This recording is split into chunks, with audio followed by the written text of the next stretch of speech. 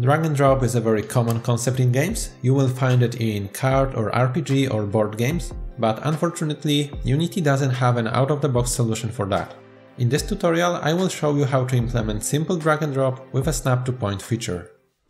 As you can see, I prepared a simple scene with 4 sprites of Japanese dishes and 4 grey circles. These grey circles will be used as a snap points and we're gonna drag and drop Japanese dishes. So let's get started. The first thing we want to do is create a script which will contain drag and drop logic and later on we are gonna add it to every sprite that we want to make draggable. So let's right click and create a new script. I will name it draggable. And let's open it.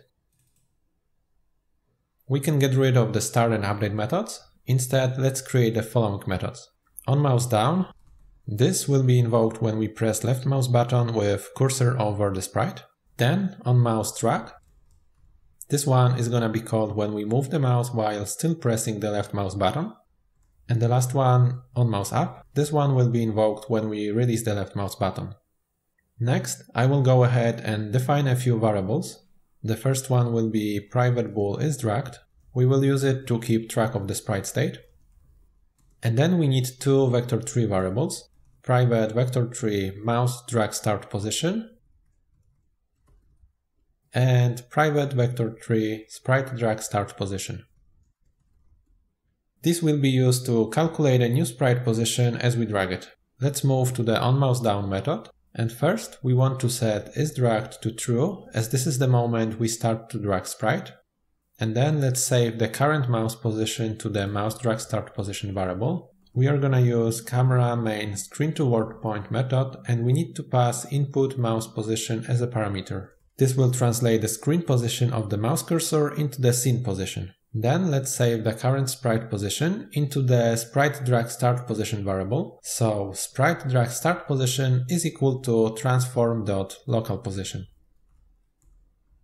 Next, let's go to the onMouse drag method. And here we want to update the sprite position. First, I will check if isDragged is true and then I will use the sprite start position and add a difference between the mouse start position and the mouse current position to it. So let's write transform local position is equal to sprite drag start position plus camera main screen to world position of input mouse position minus mouse drag start position. And in the onMouse up method, just set is dragged to false. Now let's go back to the Unity. We need to add the draggable script to the Japanese dishes sprites. I will select the first sprite and click on the add component button and search for the draggable script. We also need to add a collider because without it, on mouse down, drag and up methods will not be invoked. So let's click on the add component button again and search for the box collider 2D this time. I will quickly repeat this for the rest of the sprites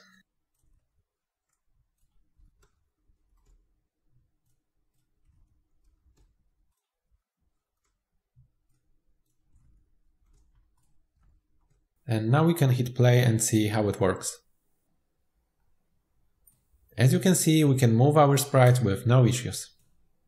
Having drag and drop implemented, we can now add a snap feature. That means when we drop the sprite close to one of the gray circles, it should update its position to the center of that circle. So let's go ahead and create a new script. I will call it snap controller. And let's open it. We need to store a list of snap points and a list of draggable elements. Once the user drops the sprite, we will compare the position of that sprite with each snap point and, if necessary, update the sprite position. I will define a public variable of type list transform and name it snap points. And then the second variable, this time it's gonna be a list of draggable and I will name it draggable objects. Let's also add a snap range variable to specify how close the sprite has to be to make it snap. This time it's gonna be a variable of type float and I will use a value of 0.5 as a default. Now we need to know that drag has ended and we will get that information from the draggable script, so let's open it. And now let's define a delegate. And if you don't know what that is, then delegate is basically a reference type that can hold the reference to a method instead of some primitive types or object. I will define a delegate of type void with a draggable object parameter.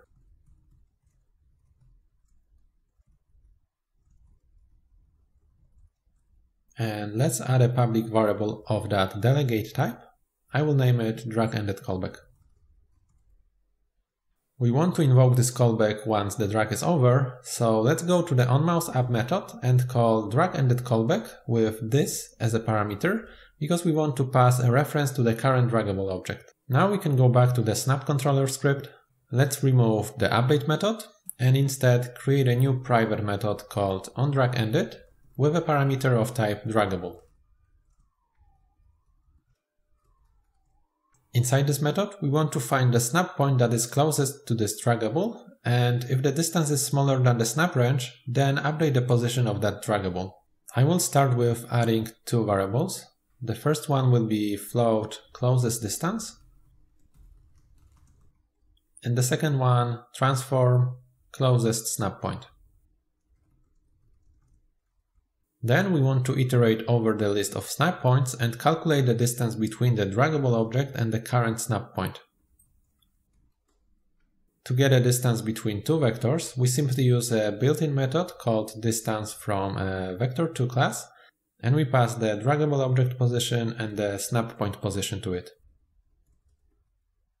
And then we check if the closest snap point is null or the distance is smaller than the previous closest distance and if so, we update the variables. Then, outside the loop, we check if the closest snap point is not null and the closest distance is smaller or equal to the snap range.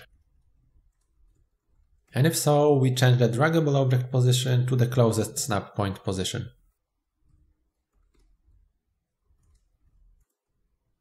Now I will go to the start method and iterate over the draggable objects.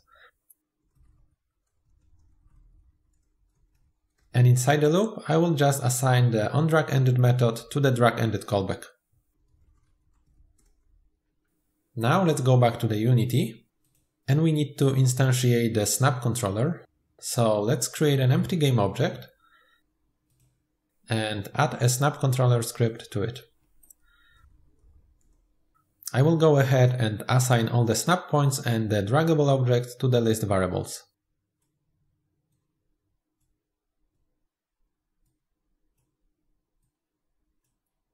Once that is done, we can hit play.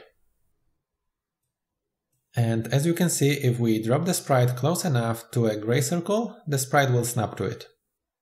And that's all I wanted to show you in this tutorial. If you want to see more videos like this, leave a like and subscribe this channel and I hope to see you in the next video.